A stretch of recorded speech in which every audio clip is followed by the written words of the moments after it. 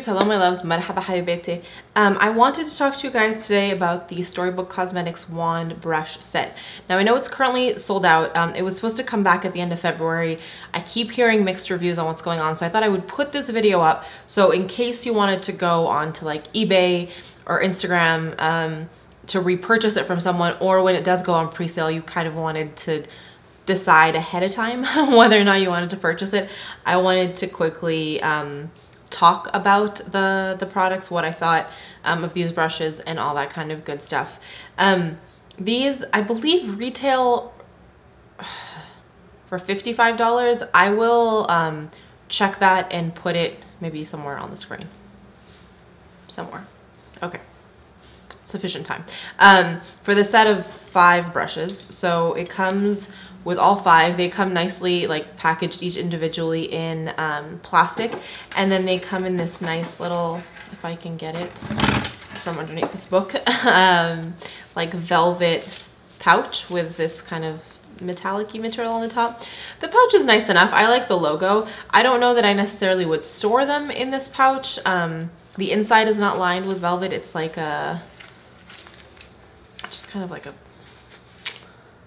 meshy, plasticky material. I'm losing in my entire vocabulary this afternoon. It seems like an apt time to film. These brushes are lovely. They're synthetic.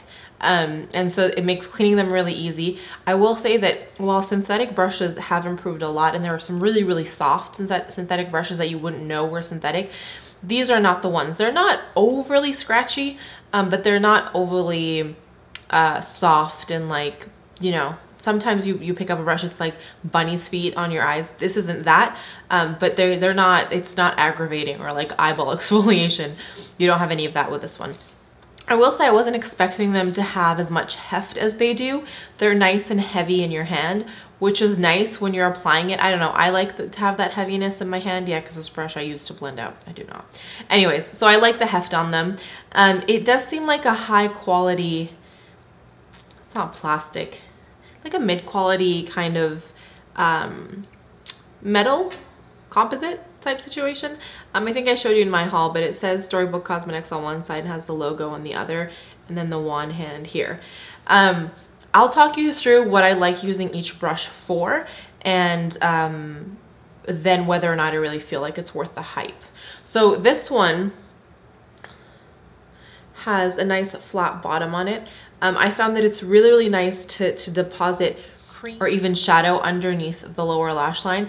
I also found that I can use it for my gel liner in my waterline. It works really well for that. I will say, I don't know if you noticed in the close-up, but there are hairs that are starting to come out of it already. Um, like you can't pull at them and, and have them actually fall out, but they are starting to shed. So I'm sure that there'll be a little bit of shedding with these brushes, which is just something to keep in mind. Um, on the bottom on this guy, is like so. Uh, the second one is more of like a flattened dome shaped situation. Um, I really found this one super lovely for packing on um, color and pigment onto the lid. I wasn't expecting it to do that. Um, I was expecting more to use in the crease, but I was like, hmm, let me try it. When I packed on the glitter or the shadow, it packed on really well and blended out effortlessly. I will say for like a duo fiber type brush, usually duo fiber brushes don't pack on as much pigment. I did not, do not find that this is the case with this, it's this one in particular. Um, so I really appreciate that. The one that I have been enjoying in the crease is this one. I wish they had names on them, but they don't. They all just come part of the set. So this one's a little bit more elongated. Let's see if I can put them side by side and compare. Like, do you see how the bottom one is a little bit more pointed um, and precise, whereas this one is blending into the color of my skin. There we go. Has a little bit more of like a rounded, bushy almost kind of top.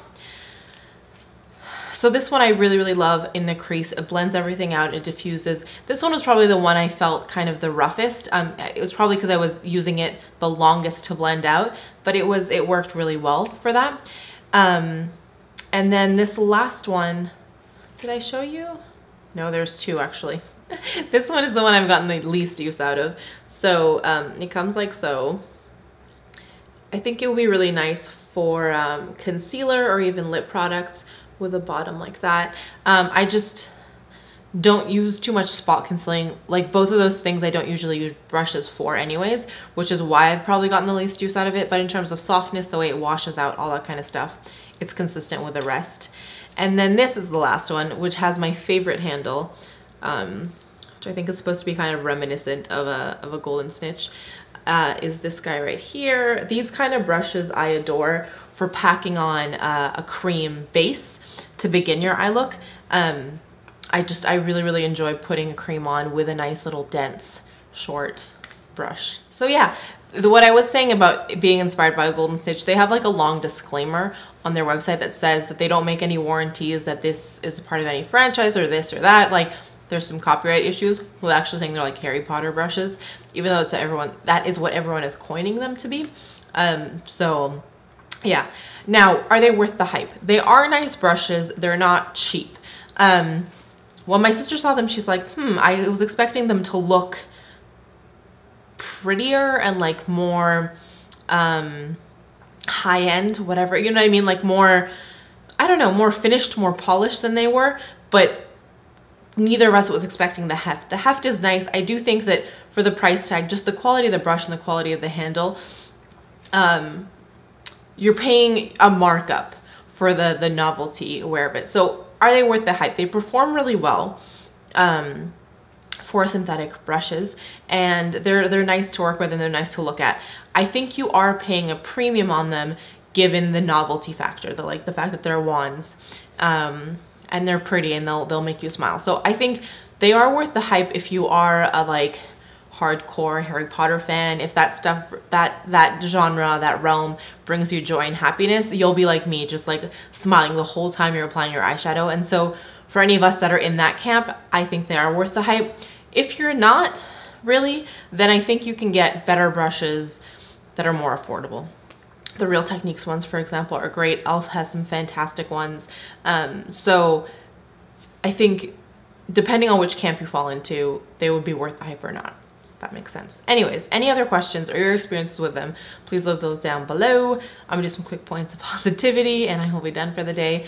My first point of positivity is a really nice uh, walk. We had like the last little bout of good weather before a massive snowstorm. So um, I really enjoyed getting out and getting some sunshine. My second is that I get on a plane in a week and go away. I don't know when you're watching this, if I've already gone and come back or if I'm on the plane or what have you, but I'm really excited to, to take, up, take off for the weekend and be back. Um, I will try to remember to vlog a little bit so I can share that with you. And then my third point of positivity is a nice, calm, relaxing evening ahead. So that is it for me today. As always, because I know it's making you guys smile, I will talk to you ever so soon. But before I leave you, as always, let me remind you that life is just way too short to wear boring lipstick. Bye, guys.